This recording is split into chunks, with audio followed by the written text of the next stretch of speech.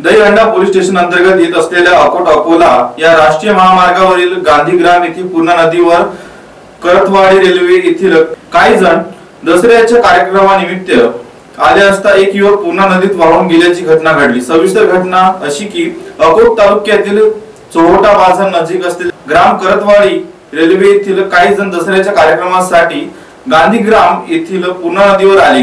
गेल्या दोन दिवसात पाऊस पडल्यामुळे नदीची पाण्याची पातळी वाढली आहे. अशातच दादू प्रकाश सुरळकर नामक युवक वय तीस वर्ष हा नदीत आंघोळीसाठी उतरला असता. त्याला पाण्याची पातळी समजली नाही. त्यामुळे पाण्याच्या वेगवान प्रवाहात तो युवक वाहत गेला.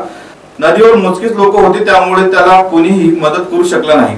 काही उपस्थितांनी त्यांना सांगितले की त्या युवकाचा शोध घेण्यात आला. मात्र बरेच वेळ शोधाशोध घेऊनही तो सापडला नाही.